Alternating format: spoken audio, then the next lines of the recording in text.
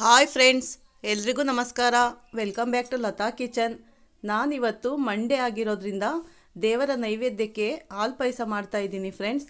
ಅಂದರೆ ಸೋಮವಾರ ಆಗಿರೋದ್ರಿಂದ ನಾನು ಈಶ್ವರನ ವಾರನ ಮಾಡ್ತೀನಿ. ನನಗೆ ತುಂಬ ಇಷ್ಟ ಈಶ್ವರ ಅಂದರೆ ದೇವರು. ನಾನು ಅದನ್ನು ತುಂಬ ನಂಬಿದ್ದೀನಿ ಮತ್ತು ತುಂಬ ಪೂಜೆ ಮಾಡ್ತೀನಿ.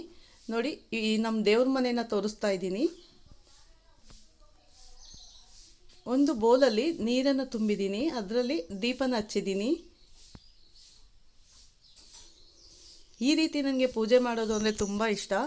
ಪ್ರತಿ ಸೋಮವಾರ ನಾನು ಉಪವಾಸ ಇದ್ದು ಈ ಪೂಜೆನ ಮಾಡ್ತೀನಿ. ನೋಡಿ, ಇಲ್ಲಿ ಈಶ್ವರದ ಚಿಕ್ಕ ಮೂರ್ತಿನ ಇಟ್ಟಿದ್ದೀನಿ ನಾನು.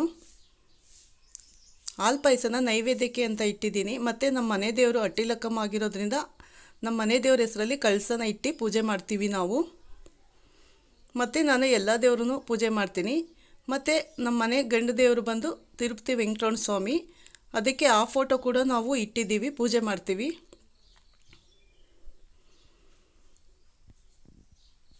ಪ್ರತಿ ಸೋಮವಾರ ಈ ರೀತಿ ಏನಾದರೂ ಒಂದು ನೈವೇದ್ಯ ಮಾಡಿ ಪೂಜೆ ಮಾಡೋದು ನನ್ನ ಅಭ್ಯಾಸ ಫ್ರೆಂಡ್ಸ್ ಅದಕ್ಕೆ ನನ್ನ ದೇವ್ರ ಮನೇನ ಇವತ್ತು ಪೂಜೆನ, ನಾನು ಮಾಡೋ ಪೂಜೆನ ತೋರಿಸ್ಬೇಕು ಅಂತ ಈ ವ್ಲಾಗ್ನ ಮಾಡಿದ್ದೀನಿ.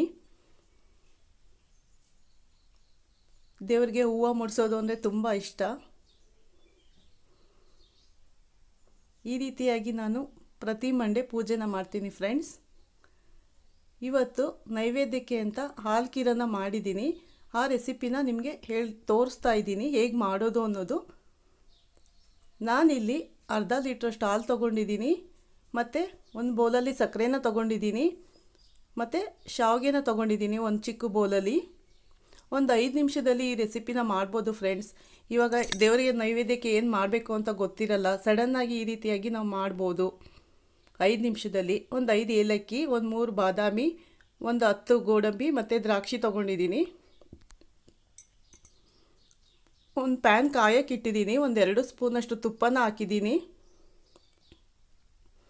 ಈಗ ತುಪ್ಪ ಕರಗಿದೆ ನಾನಿವಾಗ ಅದಕ್ಕೆ ಗೋಡಂಬಿನ ಫ್ರೈ ಮಾಡೋದಕ್ಕೆ ಹಾಕ್ತಾ ಇದ್ದೀನಿ ಫ್ರೆಂಡ್ಸ್.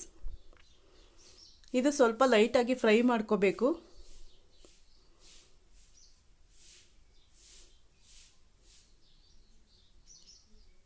ಮತ್ತು ಈಗ ದ್ರಾಕ್ಷಿನ ಹಾಕ್ತಾ ಇದ್ದೀನಿ. ಇದು ಕೂಡ ಲೈಟಾಗಿ ಫ್ರೈ ಆಗಬೇಕು. ಮತ್ತು ಬಾದಾಮಿ. ಈ ರೀತಿಯಾಗಿ ಫ್ರೈ ಮಾಡ್ಕೋಬೇಕು. ನಾನು ಪಾಯಸದ ರೆಸಿಪಿ ತುಂಬ ಹಾಕಿದ್ದೀನಿ. ಯಾಕಂದರೆ ಮಂಡೆ, ಪ್ರತಿ ಮಂಡೆ ನಾನು ಮಾಡೋದ್ರಿಂದ ನಾನು ಅದನ್ನು ರೆಸಿಪಿನ ಹಾಕ್ತಾ ಇದ್ದೀನಿ. ಈಗ ಅದೇ ಪ್ಯಾನಲ್ಲಿ ನಾನು ಅದೇ ತುಪ್ಪದಲ್ಲಿ ಶಾವಿಗೆನ ಹುರ್ಕೋತಾ ಇದ್ದೀನಿ.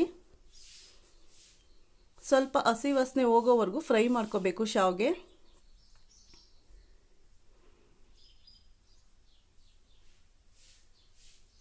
ಈಗ ಇದು ಫ್ರೈ ಆಗಿದೆ. ನಾನು ಗ್ಯಾಸನ್ನು, ಗ್ಯಾಸ್ ಫ್ಲೇಮನ್ನು ಆಫ್ ಮಾಡಿದ್ದೀನಿ.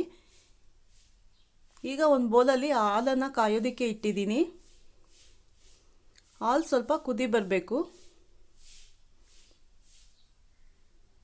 ಈ ರೀತಿ ಪಾಯಸನ ಮಾಡಿದ್ರೆ ಮಕ್ಕಳು ಇಷ್ಟಪಟ್ಟು ತಿಂತಾರೆ. ಈಗ ನಾನು ಸಕ್ಕರೆನ ಹಾಕ್ತಾ ಇದ್ದೀನಿ ಫ್ರೆಂಡ್ಸ್ ಪ್ಲೇಟನ್ನು ಮುಚ್ಚಿ ಕುದಿಸ್ತಾ ಇದ್ದೀನಿ ಹಾಲು ಲೋ ಫ್ಲೇಮಲ್ಲೇ ಈಗ ನೋಡಿ ಹಾಲು ಕುದೀತಾ ಇದೆ. ತುಂಬ ಈಸಿಯಾಗಿ ಮಾಡ್ಬೋದು ಈ ಪಾಯಸನ. ಈಗ ಹುರಿದಿದ ಶಾವಿಗೆನ ಹಾಕ್ತಾ ಇದ್ದೀನಿ. ಮತ್ತು ಗೋಡಂಬಿ ದ್ರಾಕ್ಷಿ ಕೂಡ ಹಾಕ್ತಾ ಇದ್ದೀನಿ. ನೋಡಿ ಈಗ ಕುದೀತಾ ಇದೆ. ಈಗ ಹಾಲು ಪಾಯಸ ರೆಡಿಯಾಗಿದೆ ಫ್ರೆಂಡ್ಸ್ ಈ ಹಾಲು ಪಾಯಸದ ರೆಸಿಪಿ ನಿಮ್ಗೆ ಇಷ್ಟ ಆದರೆ ಲೈಕ್ ಮಾಡಿ ಶೇರ್ ಮಾಡಿ.